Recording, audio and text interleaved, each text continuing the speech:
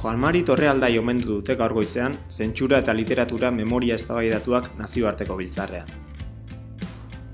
Frankismoko zentsura azaleratzeko egindako lanagatik egin diote aitortza Torrealdairi, eta gai hori bera izan du izpide berak, bere hitzartzean. Eskertza hitzak ere izan ditu idazle kazetari eta euskaltzainak, eta pozik azaldu da zentsuraren gaineko ikerketak jarraipena duela ikusita. Mila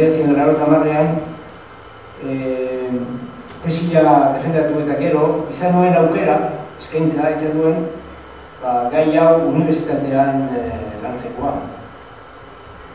E, jakin, ala unibertsitatea aukeratu behar izan nuen e, gune horretan.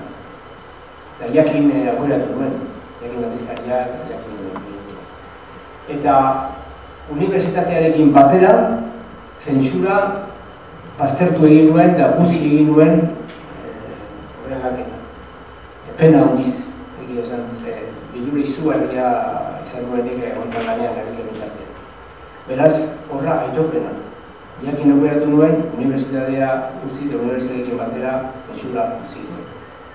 Eta ona, nire pozaren arrazoia segida arroka dara.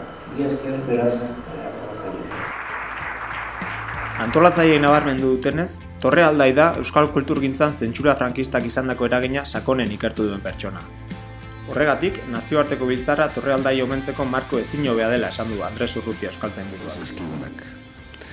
Itz batez esateko jakintza, jakin naia, ikastea izan ditu gogoko txiki txikitatik eta berak aitortu bezalaxe eta horrekin batera ekintzetarako, jardunetarako praktika, asmoa eta erabakimena.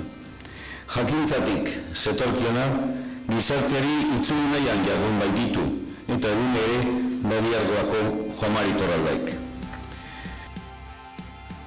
Torrealdairen obra ere presente izan dakitaldian. Ark idatzitako liburuetako pasarteak irakurri dituzte Mariasun Landak, Martxelo Tamendik, Lore Agirrek, Jon Zaratek, Joseba Intxaustik, Nerea Mujikak eta Miren Azkaratek.